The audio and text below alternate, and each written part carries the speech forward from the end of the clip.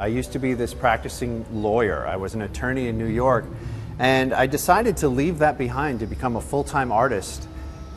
A lot of people really questioned that decision and told me I was crazy. What are you doing? You're going to leave your job as a lawyer to become an artist that plays with Lego? And so this sculpture kind of represents that. These arms are all those people telling me I'm crazy, and this is me really trying to escape that world. Inmiddels gaan de Lego-kunstwerken de hele wereld over. Maar ook Nathan begon ooit klein. I really just looked around my apartment and thought, what can I make?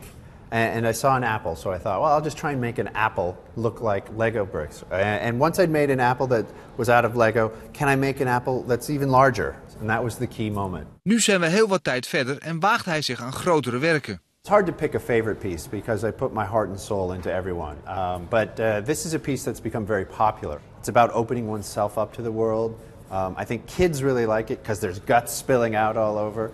Uh, but those guts are made of Lego bricks. Well, the great thing about this, this piece in particular is I get to see kids, their jaws just drop when they see this for the first time because this is a lot of Lego and it's one of the biggest, uh, biggest things I've ever built out of bricks.